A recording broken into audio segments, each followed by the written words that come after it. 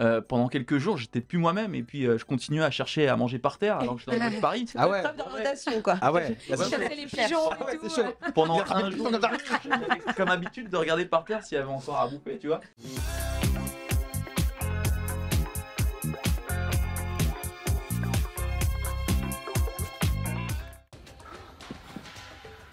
C'est quoi cette épreuve de ouf L'épreuve d'orientation, c'est un cauchemar. Et, et, incroyable, magnifique. Oui, bon. Tu disais que l'épreuve d'orientation. Ah ouais, c'est un cauchemar. c'est trop. C'est comme si t'étais chez toi, tu cherchais tes clés, tu savais pas où tu les as foutues et que t'avais un train à prendre. Ah, ça me rend fou. Donc euh, ouais, c'est des épreuves très difficiles et en plus, euh, souvent tu tombes sur des trucs assez bizarres.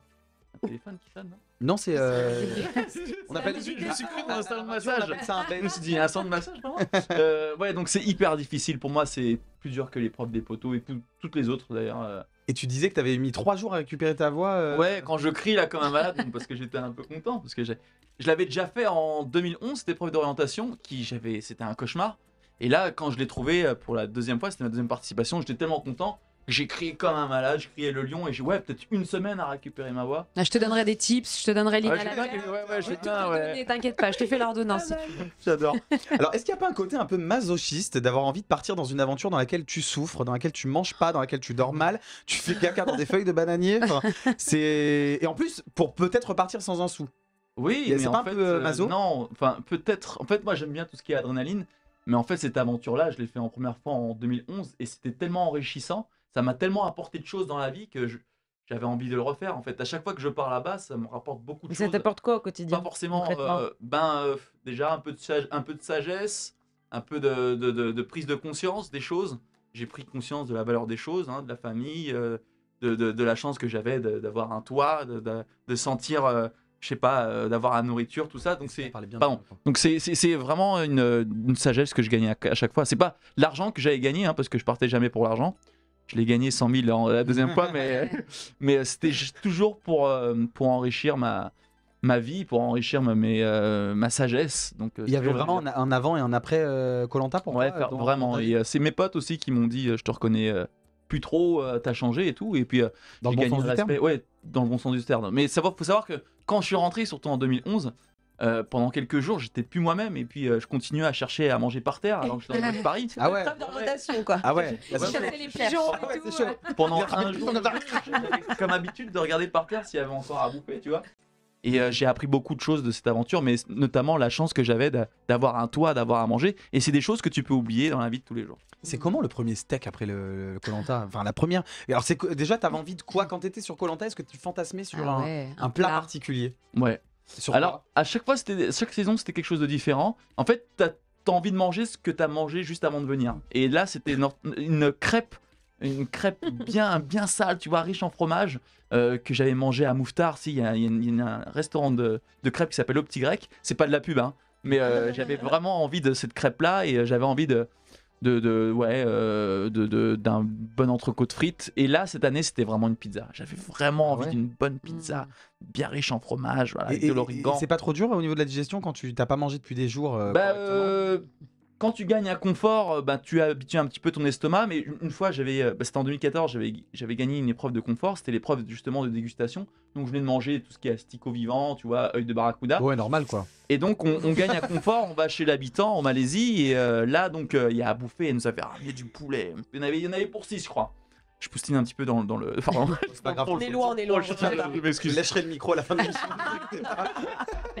Et donc je commence à manger et euh, tout seul j'ai vomi en fait. Mon estomac est Ah ouais. tellement serré que j'ai tellement mangé que d'un Ah seul ouais. coup j'ai vomi mais sans le vouloir. Mais bon, je me suis régalé quand même. Mais justement, je me dis, quand l'émission se termine, est-ce que vous avez un suivi médical pour euh, Non. apprendre à manger? Enfin, Mm. Non, non, non, mais il nous conseille fortement de faire bien attention à la manière dont tu manges, de manger tranquillement, mais tu as un suivi psychologique surtout.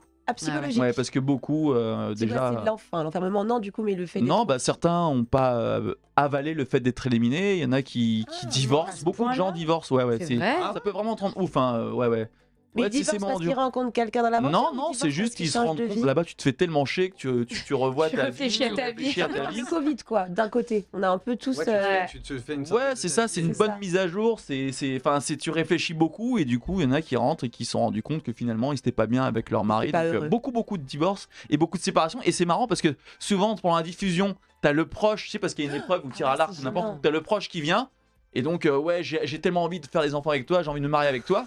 Et à la diffusion, ils sont plus ensemble. Ah ouais. Donc, euh, Il y, a- y y eu des- il y a eu des couples euh, lors de Colanta parce qu'on m'avait dit que dans Colanta vous n'aviez pas vraiment de libido puisque vous mangez mal, vous dormez mal. non, il y en a pas du tout. Il n'y a pas de Il y a de ce que je connais, hein, après je sais pas tout, mais il n'y a jamais eu de sexe dans Colanta. Mais il y a pas eu. C'était pas Freddy qui était sorti avec une fille euh, sur Colanta, je crois? Freddy. Alors je ne sais pas, moi, moi, je suis pas du tout un spécialiste mais Bah, Moi, ça me parle. Je crois qu'il y a eu un petit couple hein, quand même. Mais Oui, c'est oui, il y a Gesta et Benoît. en même temps on est sur Euh, D'ailleurs, ils ont eu des enfants ensemble. ils sont ouais, ouais, ensemble, Yesta et Benoît, il y a beaucoup de couples qui se sont créés, hein, mais après. Ah, moi, je, je fréquente Denis Brognard assez régulièrement. Bonne réponse, bravo.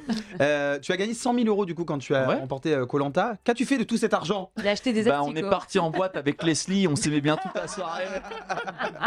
non, c'est pas vrai, j'ai mis ça sur un compte. Je suis pas trop du genre, à, Leslie pourra confirmer, à mettre de l'argent dans les bouteilles. Et donc, euh, j'ai mis dans mon compte, et puis ben, euh, je me suis dit, ça va me servir un jour ou à l'autre. Et euh, bon, j'ai laissé ça comme ça, quoi.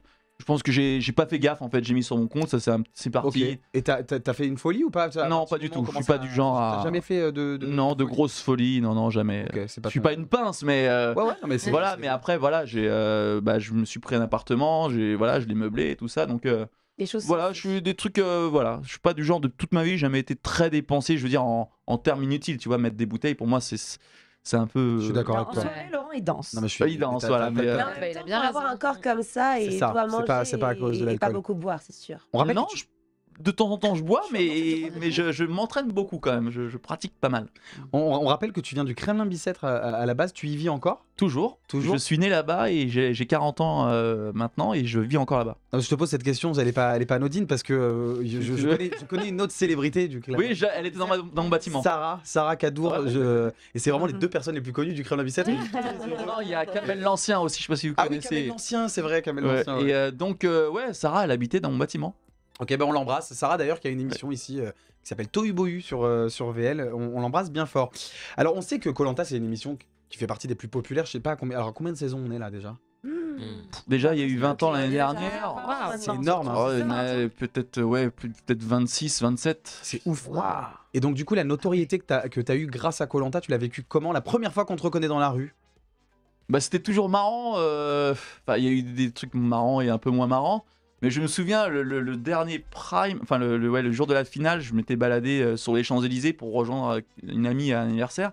Et j'ai une bande de, gars de banlieue, ils étaient dans leur voiture. Ouah, Laurent C'était assez marrant en fait. Mais je me suis jamais rendu compte de.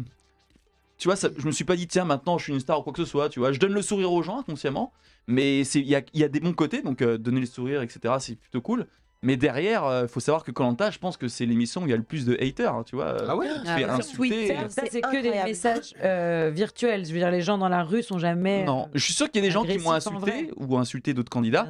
Et derrière, ils oh super, t'es super, mais Ouais. euh, derrière, quand, comme dans l'émission tu élimines des gens, il y en a qui. Ah oui. Ouais, oui, c'est- enfin, moi personnellement, alors, c'est drôle. Moi, je lis ce qui est drôle, mais j'avoue que les soirs de Colanta, je suis connectée sur Twitter. Il y a des choses qui sont vraiment très drôles, des choses qui Oui, sont euh. pas sympas. Mais là, c'est fou la haine que, que tu peux ouf. ressentir, tu sais, quand il y a des éliminations ou des coups un petit peu de travers qui sont pas très sympas. Ouais, bah, non, mais les gens, ils souhaitent poubelle. presque la C'est- Non, mais mort t'imagines même pas. Il y a des gens qui. Clémentine, je crois. Clémentine, ouais, mais, il y a ça pire que ça. Je sais qu'il y a euh, Ahmad, il a, il ouvert Ah oui. plusieurs restos à, à Lyon. Ahmad Et les gens sur TripAdvisor, ils insultaient Ahmad sur le sur le sur le sur, sur Par rapport ses à sa restos. participation. Ouais, ouais. euh, Et oui, il disait ouais, c'est un resto de merde à l'image du candidat. Même un autre gars, il s'appelait Régis, qui travaillait euh, au, euh, je sais pas si j'ai le droit de dire des Oui, marques, mais au, au Go Sport de, de, de, de Belle Épine. Et euh, ils ont insulté le Go Sport de Belle Épine via Google, tout ça. C'est Donc des fous les et les gens. gens, Ah euh, ouais, ils ils sont, sont- Ils font pas la différence de mort et tout. entre ce qu'ils voient. Alors que c'est un jeu, en vrai, t'as rien fait de mal, Bah tu vois. C'est quoi le message le plus, euh, le plus violent que t'as lu sur toi? Le truc qui t'a un peu. Bah, euh, tu vois, euh, ma mère a eu le cancer et ma mère, il y avait quelqu'un qui avait souhaité la mort de ma mère. Là là. Mais bon, après, c'est Ah comme ouais. ça. C'est bon, euh, c'est des gens qui sont pas en face, tu vois. Mais, euh, mais après, il y a des.